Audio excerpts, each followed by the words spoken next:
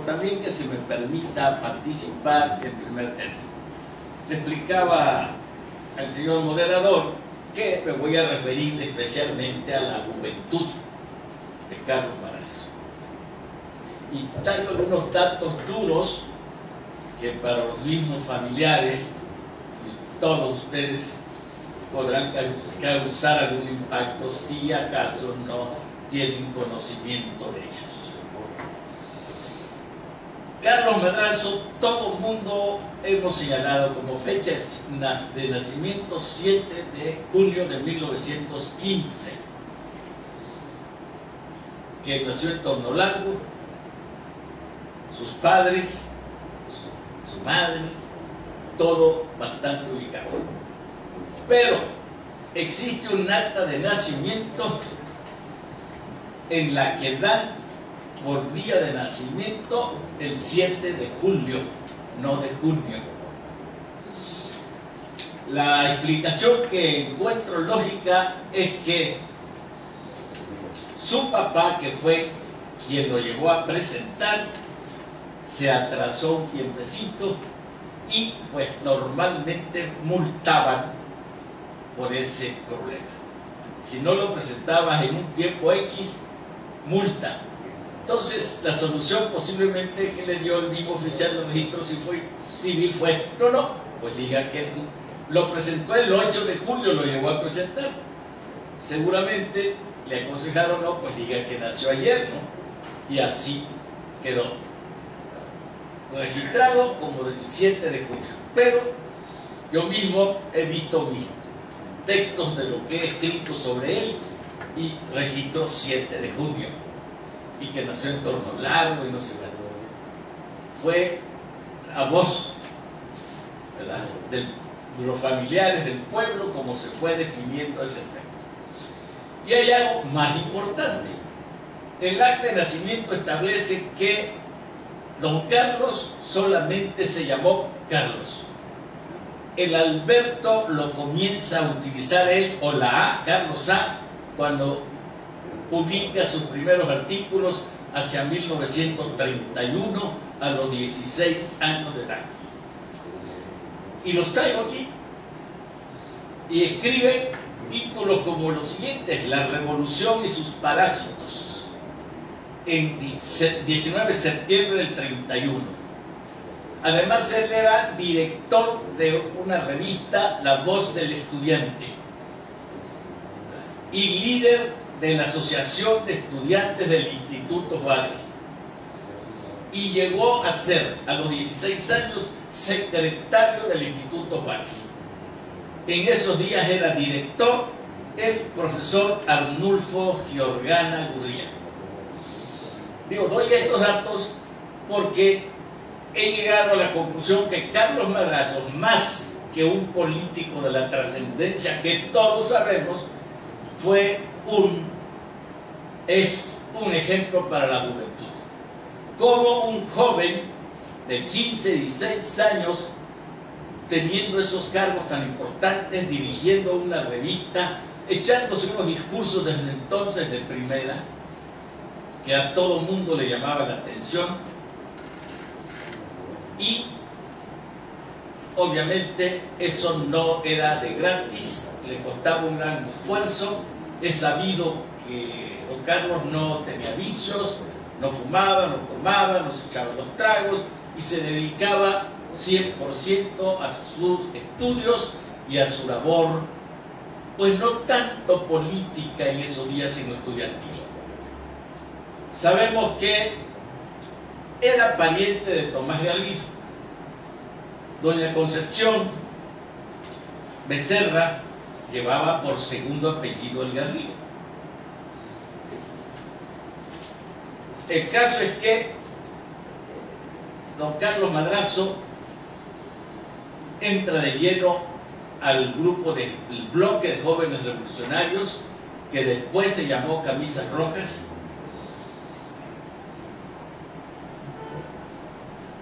Y hay que, quiero aclarar también, nunca fue líder de los Camisas Rojas. Aquí en Tabasco no le dio, pues Garrido se entiende que era el que asignaba esos cargos. Y se fueron a México y allá en México el líder fue Agapito Domínguez.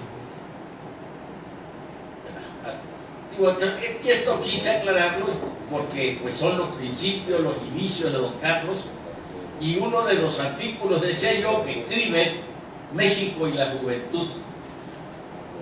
Y pues desde entonces señala, marca, manifiesta la inquietud de que eran los jóvenes quienes debían tomar las banderas de la Revolución Mexicana y dedicarse a defenderla, a propagar sus ideas. Entre los textos que señaló Carlos en este artículo de la Revolución, ah, otro artículo, La Revolución y sus parásitos, que fue el primero que publicó, dice, no en todas partes se hace labor como en Tabasco, preparando paciente pero, paciente pero eficazmente el triunfo de los ideales revolucionarios. No es a los hombres de hoy cansados de la lucha a quienes está encomendado el porvenir de nuestra patria. Es a la juventud en quien descansa esa enorme responsabilidad. En la juventud que desata su doctrina vivificadora sobre la patria adolorida, como la lluvia que cae a raudales sobre una campiña mustia y agotada. Pero yo no quiero referirme a ese grupo linfático que son jóvenes de cuerpo pero viejos de alma. Por juventud aludo al grupo todo acción, todo virilidad, que será el dinamo de donde saldrán las corrientes de energía que salvarán a nuestra patria esos mensajes para esos años, bueno, por eso y otras cosas más. Carlos Madrazo se convierte en un ejemplo para los jóvenes, no solo en el, aspecto político, como algunos señalan, los jóvenes que querían ser políticos siguieron la trayectoria y la labor de Carlos Madrazo de Serra. Y aclaro aquí que uno de sus colaboradores o amigos más cercanos, como Trinidad Malpica Hernández, periodista, recordarán ustedes, director, dueño del Hijo del Garabato, nunca lo llamó Alberto. Malpica, que lo conocía muy bien, siempre solo lo llamó Carlos Madrazo. El Alberto parece ser que algún pariente tuvo que haber por allí a quien quería mucho don Carlos y pues se le antojó como el poeta José Carlos Becerra. Solo era Carlos. Su acta de nacimiento, entrevisté alguna vez al padre de este poeta y me aclaró, él no se llamaba así, se lo puso por gusto nada más. México y la juventud, este sí. Y dice, dijo don Carlos, la juventud mexicana que llena de optimismo se lanza decidida a uncir el destino a su carro triunfal. Seméjase al águila caudal que abandonando su nido, estoica y fuerte, indómita y potente, desflora el firmamento y despedaza tempestades como si estallara en bólidos su salvaje fuerza. La juventud es un genio fabuloso que trueca en realidades las frondas cimeras del bosque de nuestras ilusiones que es un ariete formidable ante cuyo golpe ruedan pulverizadas las tiranías y las falanges proletarias irrumpen triunfalmente en el certamen de la civilización. Y así tenemos otra. Entonces, esto, repito, a mí me lleva a concebir, a concluir, Carlos Madrazo, más que otra cosa quizá o a la, a par, fue un líder de la juventud, un guía, una orientación plena, amplia para los jóvenes, no solo esos tiempos, ¿verdad? ahorita hace mucha falta estas cosas, que los jóvenes se enteren de estos conceptos, de estos mensajes que Dios dejó Carlos Madrazo. Y también, dada su inquietud, su ímpetu por saber y sus lecturas, escribió un artículo, todo esto, señores, entre 1931 y 37. Es decir, Carlos Madrazo daba en los 16, 17 años, ¿verdad? 21 años, no más, y escribiendo sobre la pena de muerte. Interesantísimo artículo donde da elementos de cómo decía él en esos días el derecho penal moderno pretendía y quería eliminar la pena de muerte, no fomentarla, no fortalecerla. Esa es la esencia de este artículo de, de don Carlos. Entre otras cosas dijo, el delito no es al fin y al cabo más que una consecuencia de un medio económico injusto, la sociedad dividida en dos clases, explotados y explotadores, llena, de las, llena las cárceles con los elementos de la primera división, los que despojados, hambrientos, haraposos, faltos de medios de, medios de instituirse, educarse, delinquen necesariamente. Esto le va a quedar muy bien al actual presidente, ¿no? Que le llegue por ahí, que es el planteamiento que ha hecho López Obrador, ¿verdad? Sin duda alguna. ¿Por qué la pobreza? ¿Por qué el hambre? ¿Por qué la criminalidad? Afirma el presidente López Obrador, se debe a estos problemas. Sí que ahí se le puede mandar. bueno, aquí traigo, decía yo, la, la cuestión del acta de, de nacimiento, pero también el acta de matrimonio de don Carlos, y esto por un recuerdo, un honor a doña Graciela, ¿verdad? fiel compañera de don Carlos, y simplemente por, para los que no sepan, se casaron en 1938, un 17 de enero. Y pues ya sabemos todos los, la chamacada que tuvo cinco varones nada más, ¿verdad? Bueno, entonces pues, le, repito, gracias a mis compañeros de mesa y al licenciado Medina Flores Pérez Nieto por concederme comenzar y dar a ustedes estos datos introductorios. Tenemos otros datos importantes aquí de cómo Carlos Madrazo sale de Tabasco en 1932, después de terminar la secundaria 29, 30, 31, y se va a México. Pero allá llega con más ganas, ¿verdad? ¿Quién tenía don Carlos? ¿Quién sabe? Tanta energía, tanta fuerza, ánimo, y se inmiscuye, se liga, se relaciona con un montón, así un montón de instituciones.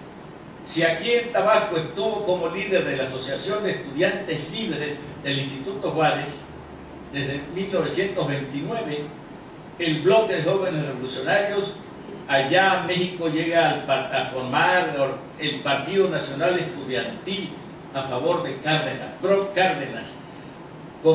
Estuvo en la Confederación Nacional Estudiantil, Confederación Revolucionaria de Jóvenes de México, Confederación de Estudiantes Socialistas, allá andaba con Antonio Campos Ramírez, de Agapito Domínguez, que formaban equipo muy bueno.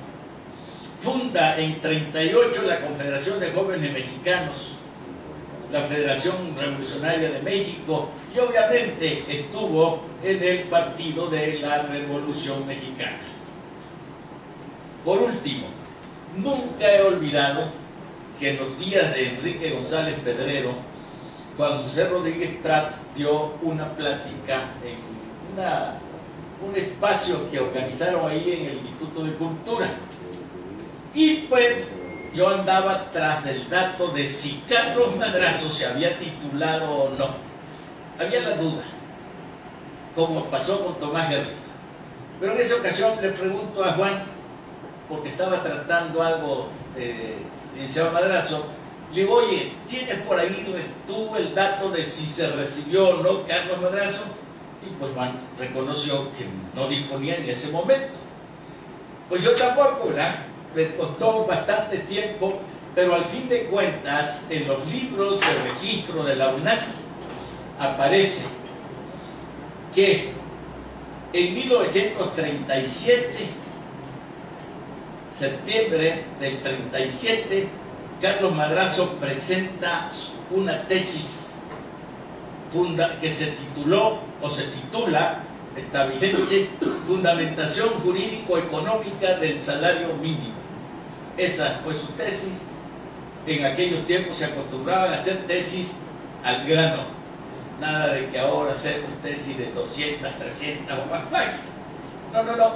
En todas partes, en todo México, cuando menos las tesis eran de 20, 30 páginas. Y, y vámonos. Aquí hay que revisar las que hay aquí de los estudiantes de, del Instituto Juárez, ¿verdad? Así que esto me dio muchísimo gusto también encontrarlo en su momento y confirmar que ciertamente Carlos Madrazo sí era abogado, titulado con la tesis que he mencionado en 1937, respaldado por las páginas de la UNAM. Muchas gracias señores por su atención. Hasta la próxima.